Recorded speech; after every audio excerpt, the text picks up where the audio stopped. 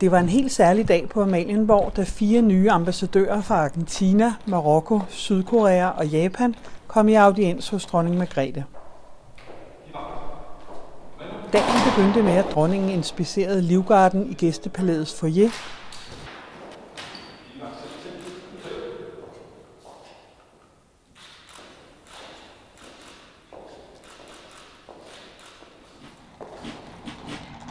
Derefter ankom karetten med den første ambassadør på Slotspladsen, og her stod hofmarskal Michael Ehrenreich klar til at byde gæsten velkommen.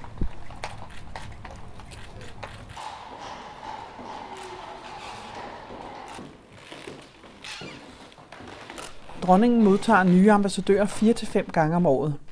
Det har normalt fundet sted på Christiansborg og Fredensborg Slot.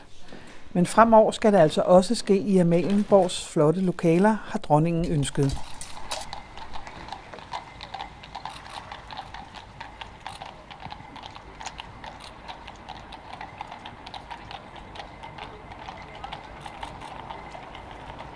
Billedbladet, Danmarks Royale Ugeblad.